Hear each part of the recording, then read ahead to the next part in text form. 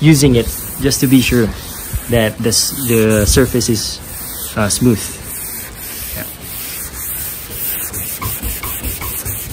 Yeah. And don't forget to apply some a uh, little bit of water.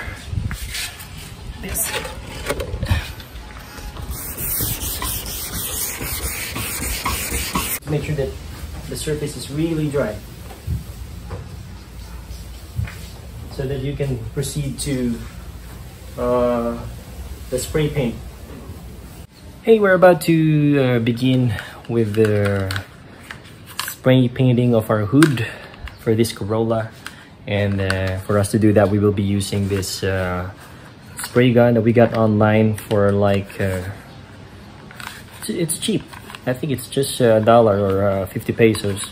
And it says here, there's a label here, Bosny, Bosny gun. Might want to go ahead and check it out. It's pretty handy and also our spray paint from Bosny which is primer gray. And we also got it online. Everything's online these days. And we have to shake it.